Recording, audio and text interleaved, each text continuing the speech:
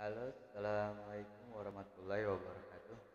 Oke, ketemu lagi bersama saya di channel saya Autospeed 57. Di mana uh, saya ingin berbagi karena berbagi itu indah ya teman-teman ya.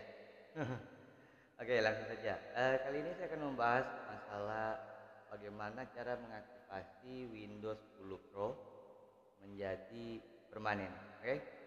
uh, eh, di sini saya sudah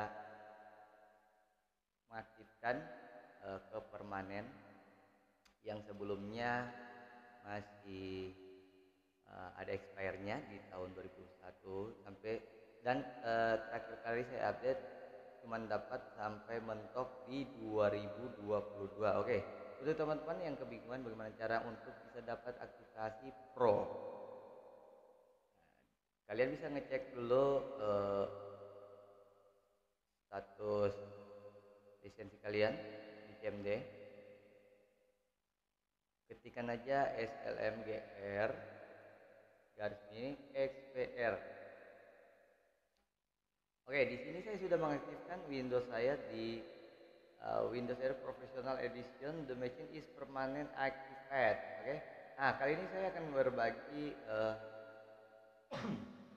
kalian gimana cara untuk bisa mendapatkan dan bagaimana cara bisa mengaktifkan aktivasi permanennya. Oke, uh, nanti linknya saya akan berbagi di deskripsi ya. Nanti kalian eh, teman-teman bisa uh, komen untuk mendapatkan password ya. Ya, di sini saya menggunakan MS Auto Light. Saya mencoba MS zip uh, itu mendapat sampai 2022 nah jadi saya terus berusaha untuk mencari mencari mencari dan ingin berbagi. Begitu saya dapatkan dan berhasil saya ingin berbagi pada kalian semua. Oke setelah kalian download kalian ekstrak nah, nanti butuh paspor kalian isi aja nanti gue bagi di komentar. Uh, kalian buka aja yang KMS Auto oke?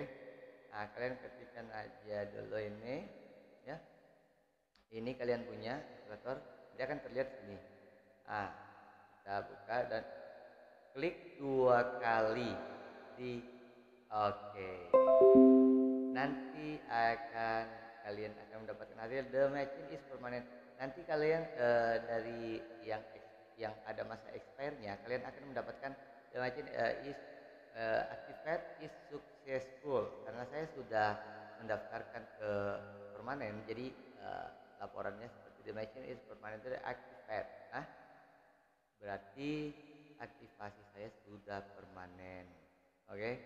nanti teman-teman uh, yang membutuhkan saya akan berbagi di deskripsi.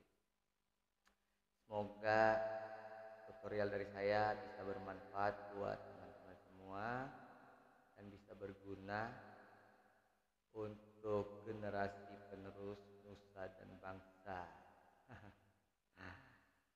Oke, ini proyeksi saya ya.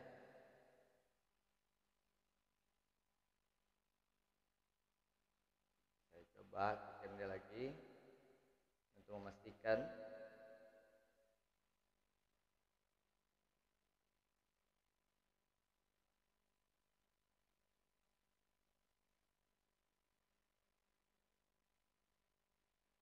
Oke, nah, di sini akan dapat kalian saat kalian ngecek akan menjadi permanen oke?